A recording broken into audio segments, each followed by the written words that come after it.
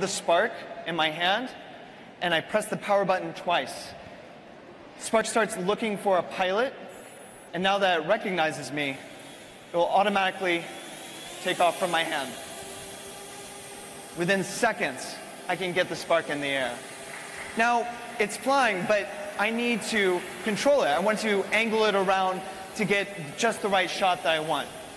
So to do that, we designed an interface using the simplest control interface that we could think of. And it's not your smartphone. Take a look.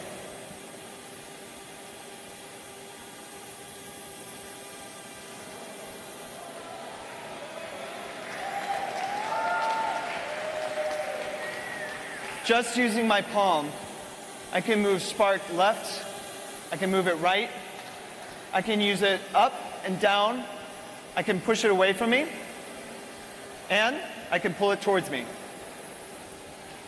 It's that simple to control, and it truly feels like magic.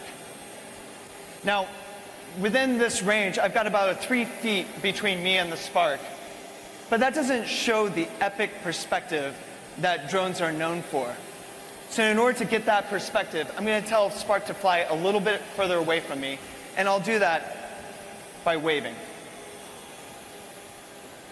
And Just like that, Spark flies about 10 feet away from me and keeps me centered in the, in the middle of the shot. It's fantastic. So I still want to be able to control my shot. This is maybe not the best background. I want to get those chandeliers captured behind me. So I'm just going to move. And Spark is actively tracking me as I move around so that I can choose the right scenery behind me. All right, this is the shot I want. And I'm going to take a picture just by doing this. Just like that, I've taken a picture. From takeoff to taking a picture, it's seconds. Now, I can still bring it back and land just by waving. This is using gesture control from start to finish to control the Spark's flight. And I'll land it just on my palm. Zobot Kit